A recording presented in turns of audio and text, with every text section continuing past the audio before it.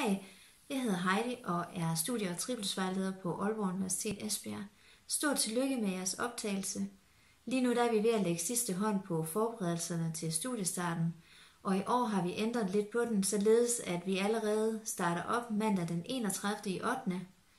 Her vil der være et oplæg blandt andet fra mig og fra jeres øh, studiesekretær og fra SU og eksamenskontoret – og om eftermiddagen, der vil der så være nogle sociale aktiviteter, hvor I vil øh, lære jeres medstuderende lidt at kende. Den officielle studiestartsdag er tirsdag den 1. i 9. Og her vil studentersamfundet være vært ved morgenmad, og den officielle velkomst vil så finde sted omkring kl. 10, hvor I vil blive budt velkommen af campuschefen og vores dekan for ingeniøruddannelserne. Eftermiddagen her vil så også byde på aktiviteter rundt omkring på campus, og så vil der være nogle sociale aktiviteter om eftermiddagen, så I endnu en gang har mulighed for at lære jeres medstuderende lidt bedre at kende. Så er I efterhånden også ved at være godt forberedt til at komme i gang med studiet og universitetslivet, og den tredje dag i vores øh, introduktionsprogram, den står i projektarbejdets tegn.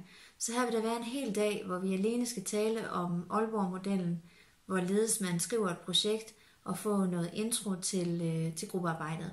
Jeg glæder mig rigtig meget til at møde jer, og håber, I får en rigtig god sommer. Og øh, vi ses øh, i slutningen af august. Hej!